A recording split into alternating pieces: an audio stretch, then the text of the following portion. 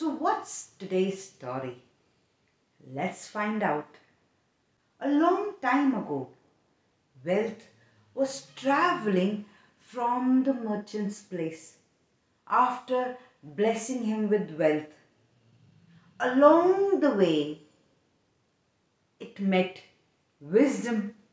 Now, wisdom too had traveled a long distance after blessing a scholar with the wealth of knowledge.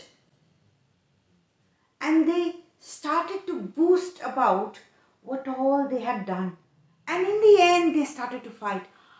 I am most important, said the wealth. No, my dear friend, I am more important. People need me. No, people need me. The argument was endless and the fight went on for days, weeks, and months.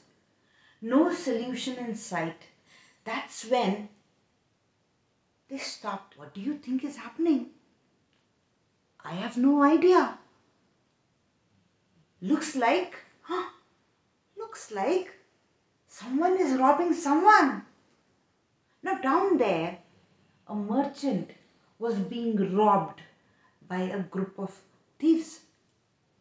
And they beat the merchant up mercilessly, broke his bones, and left him for dead. Wealth, let's see what you can do in this situation.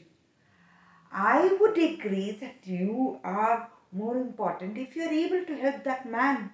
So both of them agreed to help the man and find out which one is more important wealth or wisdom.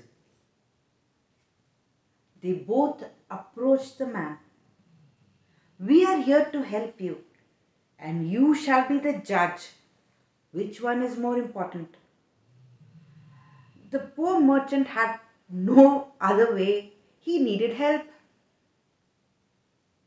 And just to satisfy both of them, he said, You both are very important. Please help me. No, no, no. You need to be specific. Either you say the wealth is more important or the wisdom is more important. You have to select one. So the wealth went on to shower gold and silver coins on the man. Now he had a fractured leg, and when all these coins fell on him, he was in pain. He started to cry. Ah! Ooh! Ah! It wasn't helping. That's when wisdom approached the man. Now, dear man, tell me, would you like me to repair the broken bones in your body, or you would rather carry those gold, silver coins that the wealth has given you? Dear wisdom, what's the use of these gold and silver coins when I can't even carry myself back home? Repair my bones, and I can earn my own wealth through my wisdom.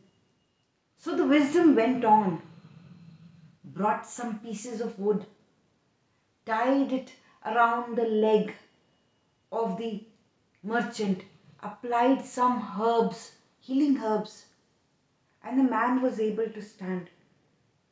And he walked away from that wealth, gold and silver, on his way back home. Wealth, do you see that? That man chose to leave you and take me along. So, who do you think is more important? So, who do you think is more important? Wealth or wisdom? Wealth without the wisdom or wisdom that can get you wealth? Leaving this question for you all to answer. Till next time, bye bye for now.